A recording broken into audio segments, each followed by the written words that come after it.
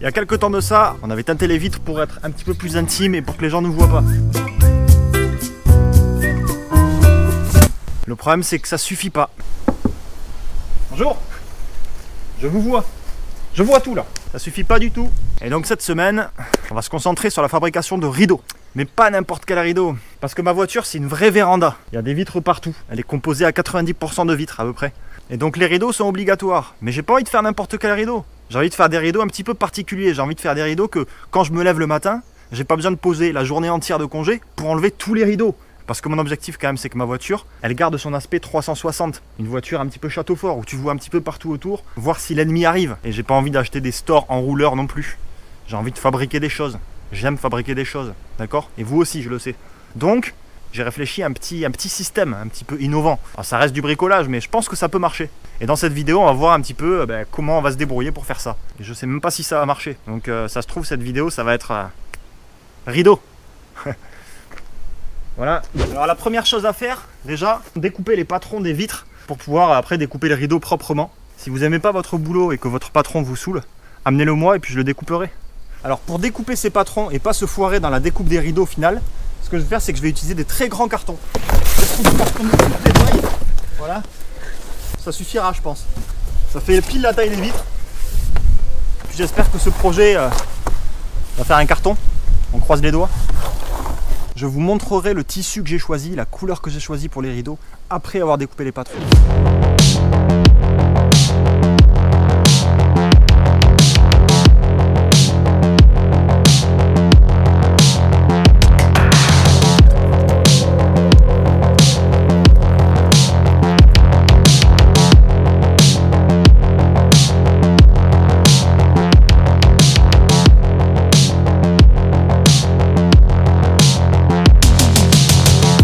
M'avez donné pas mal de conseils aussi, c'est ça l'avantage d'Instagram. Et d'ailleurs, pour les nouveaux arrivants, sachez que sur Instagram, c'est complètement différent ce que je fais. Je fais des stories qui ont rien à voir avec le bricolage parfois. Salut, moi c'est Cédric, je suis coach en séduction. Donc si ça vous dit de découvrir un truc nouveau, ben... Ça s'affiche juste là, quelque part sur l'écran. Sur le choix des couleurs des rideaux, il y a quand même des conseils qui sont importants à prendre en compte. Alors prendre une couleur claire par exemple, l'avantage c'est que c'est plus lumineux, donc le soir, quand on ferme les rideaux, qu'on met la lumière, ben, c'est beaucoup plus lumineux. Le problème, c'est que c'est plus salissant. Le gras, les vapeurs, ça va avoir tendance à, récupérer tout ça en fait. Donc ça, c'est le problème. A contrario, euh, les rideaux foncés, ben, c'est l'inverse. C'est-à-dire que c'est pas très lumineux, mais c'est moins salissant. Enfin, c'est aussi salissant, mais ça se voit moins. Mais moi, je voulais pas faire ça parce que ben, voir des rideaux noirs, par exemple, ou gris foncé, je trouvais ça un peu triste. Ensuite, les rideaux un peu fantaisie avec des, petites fleurs, etc. C'est super joli, ça rajoute du peps. Le problème, c'est qu'après, ça te bride sur la déco. Donc si un jour tu veux mettre quelque chose de plus sobre, ben, tu as les rideaux qui sont là et qui te disent non mon pote, faut que tu mettes un truc fantaisie. Il y a des fleurs mon gars. C'est pareil pour les rideaux colorés. Les rideaux colorés, ça rajoute du peps. Le problème c'est que si tu mets des rideaux un peu flashy ou de fantaisie, confinés dans ce petit cube là, avec des trucs de couleur aux quatre coins, tu finis par péter un câble, je pense. Tu fais vite de devenir épileptique, quoi. J'aime bien la créativité, j'aime bien les couleurs, j'aime bien prendre des risques, etc. Je préfère mettre des trucs sobres et après, dans la déco, rajouter des petites touches de fantaisie. Bon, alors j'ai beaucoup hésité parce que j'ai reçu une pente, on appelle ça une pente, avec des échantillons de pleines couleurs différentes pour les rideaux. Il y en avait une quinzaine, donc j'ai choisi cette couleur. Au final, après avoir longtemps réfléchi, je vous la dévoile. Il y en a certains qui vont être déçus. Cette couleur parce que je me suis dit ça va rajouter un petit peu de un petit peu de flashy, un petit peu de voilà quand tu te réveilles le matin, tu es content de vivre quoi. Tu es content d'être réveillé quoi. Waouh, trop classe, on dirait euh, je sais pas. On dirait une méduse. Les couleurs flashy, c'est bien mais pas trop longtemps, vraiment sur courte durée. Bon allez. J'ai fait une petite simulation sur Photoshop des deux couleurs entre lesquelles j'hésitais et voilà, j'ai pris du couleur claire parce que je voulais que ça soit un petit peu plus lumineux. Et puis ben, au final, je pense que c'est cette couleur que je voulais mettre. J'ai pas d'explication à vous donner. J'ai choisi cette couleur, c'est tout. D'ailleurs, si vous voulez un petit conseil que je donnais aussi sur Instagram, quand vous hésitez entre deux choix différents, au fond de toi, il y a forcément un des deux choix que tu préfères, mais tu le sais pas. C'est vraiment au fond de toi, enfoui quoi. Le truc que je fais moi, c'est que je fais un pile ou face avec une pièce, et si la réponse que j'ai me satisfait pas, c'est qu'au fond de moi, je préférais l'autre, et du coup, je prends l'autre. Faudrait lui foutre un collier électrique au coq. Donc je fais ça avec la pièce. Faites ça avec les pièces, vous verrez, c'est super pratique et super utile. J'ai pris environ l'équivalent d'un stade de foot au niveau superficie. il y a 6 mètres carrés.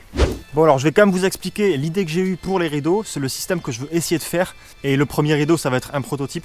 Donc comment est-ce que ça va fonctionner dans ma tête? Ah, Admettons, ça c'est le rideau.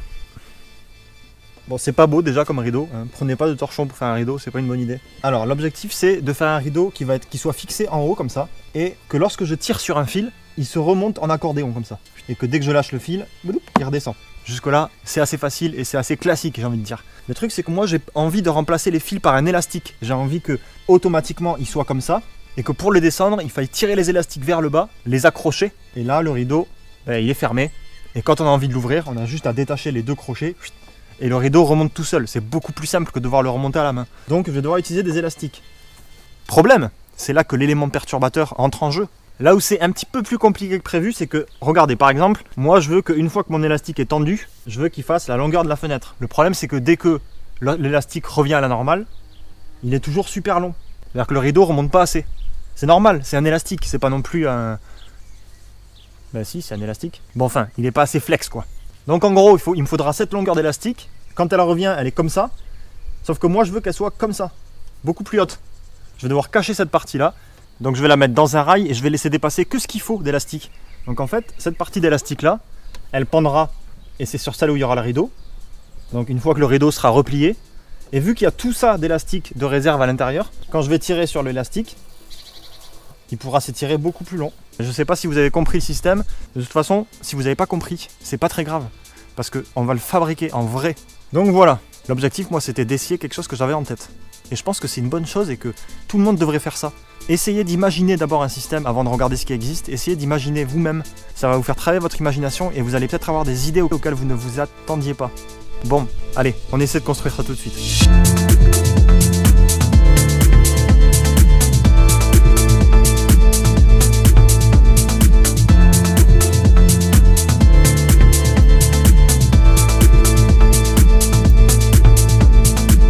Viens de découper ce morceau de tissu qui va servir pour le prototype. Donc j'ai pas découpé les autres parce que je vais d'abord essayer sur un seul au cas où il y a un problème. Grâce à des scratchs, en espérant que ça tienne, je vais essayer de fixer le haut du rideau ici.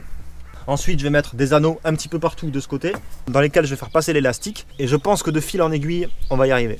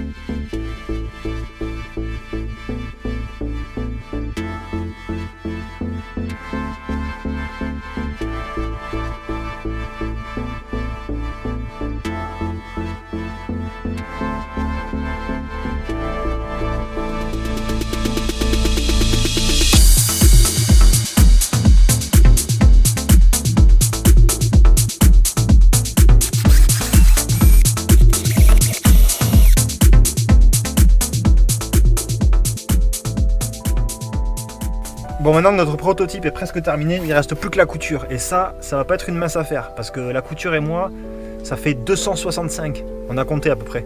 En fait, j'ai jamais fait de couture, donc euh, ben, on va essayer de pas perdre le fil quoi.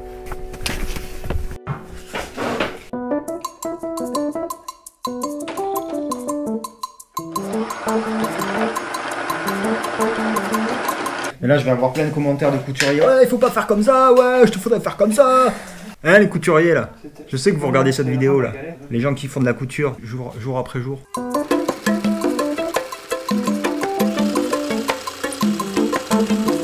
Franchement, pour un débutant, c'est pas trop mal. Hein. Enfin, moi je suis content. Écoutez les couturiers là, je suis content, d'accord? Donc c'est ce qui compte. Laissez-moi être content.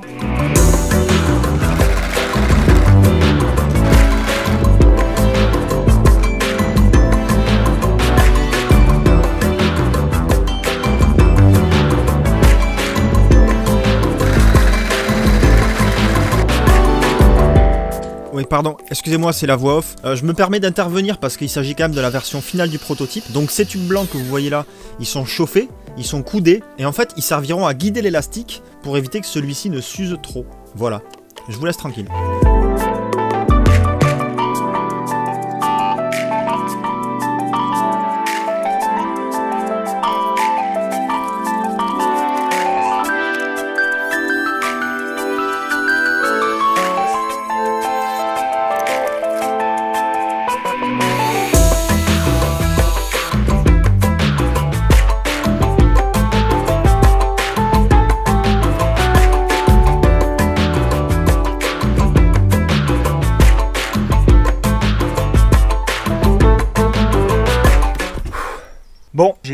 Terminé mon prototype et je dois vous avouer que je suis très satisfait.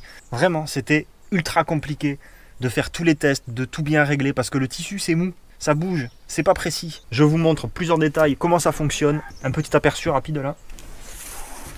Fermé, ouvert. Voilà, franchement, je suis trop content. Ça marche super bien. Comme vous le savez, au début, j'avais prévu de faire un rideau qui remonte mais après les tests, je me suis aperçu que ça faisait un gros boudin ici. Pour voir le ciel, fallait se mettre comme ça, quoi. Donc j'ai trouvé ça pas très pratique, donc j'ai décidé de faire des rideaux qui vont sur le côté en fait. Comment ça fonctionne? Parce que c'est la question que vous, posez, que vous vous posez. J'ai mis une tringle en haut qui fait tout le long. J'ai mis des petits anneaux, donc le rideau vient coulisser en fait. Donc ça c'est un rideau classique. J'ai mis un scratch qui tient tout le rideau à droite. Donc c'est la partie fixe. Et ensuite, qu'est-ce que j'ai fait? Eh bien, j'ai mis le système d'élastique. J'ai mis des petits anneaux aussi ici avec l'élastique qui passe. Donc là, on a l'élastique. Là, il est détendu et quand je viens tirer pour le fermer, ça tend l'élastique. Donc dès que je lâche, tac, l'élastique revient. Donc ça, c'est normal. Mais comme j'expliquais, il fallait un long élastique parce que un élastique peut pas passer de ça de longueur à ça. Bam, c'est impossible. Donc en fait, l'élastique, il fait ça. On le voit ici. Il remonte derrière dans un petit tube blanc tout le long ici. Et en fait, l'élastique, voilà, il y a un nœud ici, et du coup, il fait tout ça, il passe dans la gouttière. Il faut savoir que c'est ça le bricolage aussi.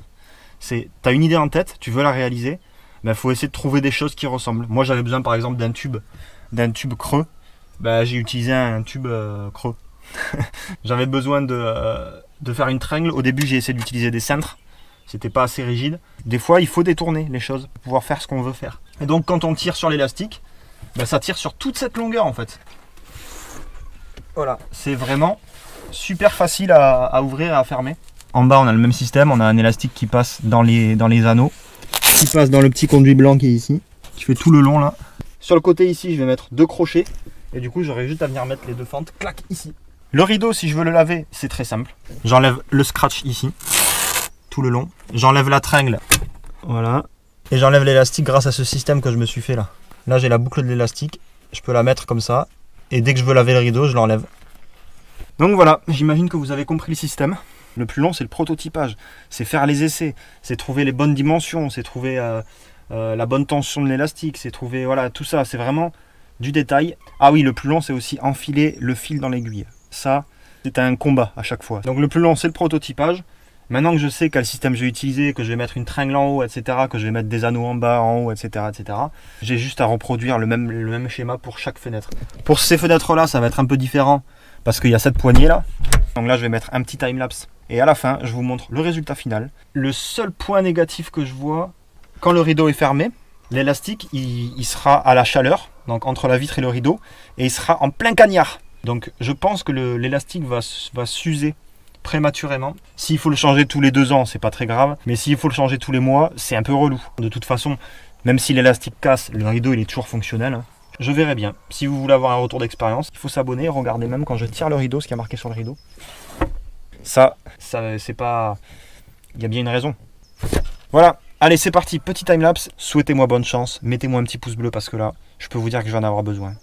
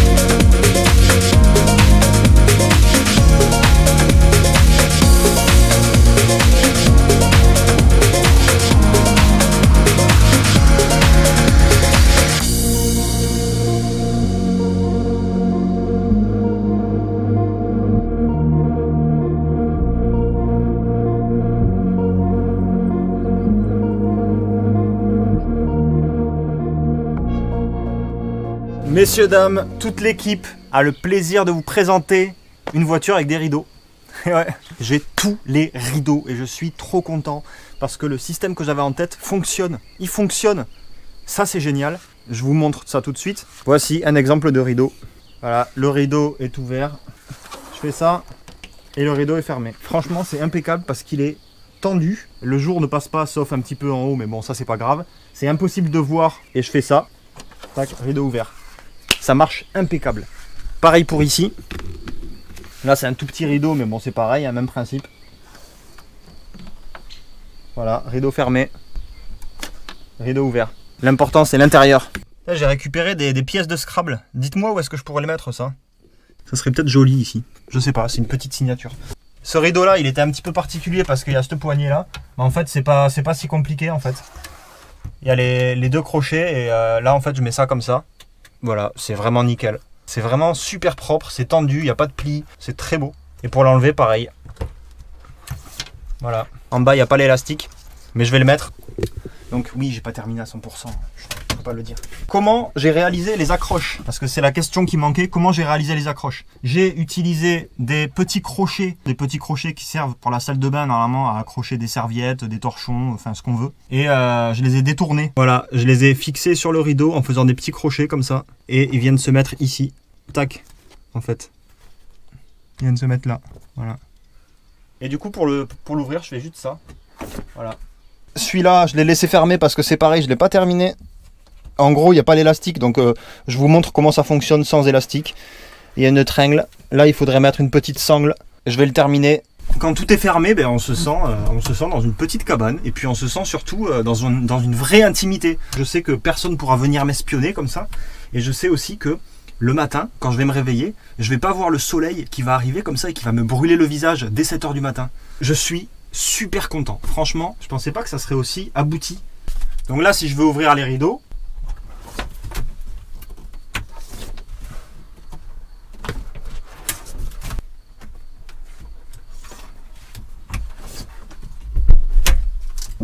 Et voilà. Le matin, ça prend deux secondes. En gros, le matin, tu viens de te lever, tu fais ça, quoi. Trop bien le réveil. J'adore. J'adore. Abonnez-vous. Le grand rideau qui est devant, on le fabriquera dans une prochaine vidéo. Il va être un petit peu différent, il va être un petit peu particulier parce qu'il faut que ça couvre le pare-brise et les vitres des portières. Donc si vous voulez voir comment ça se passe, abonnez-vous. Évidemment, c'est toujours la même rengaine. Hein. J'espère que cette vidéo vous a plu, que ça vous aura donné des idées. N'hésitez pas à partager vos idées si vous en avez d'autres pour les rideaux. Marquez-les dans les commentaires. Donc comme vous le savez, je fais une petite pause. Je vais en Haute-Savoie faire du parapente. Donc vous aurez très probablement une vidéo parapente. Je vais travailler sur mon livre. En ce qui vous concerne, portez-vous bien. Commandez un livre. À la prochaine. Ciao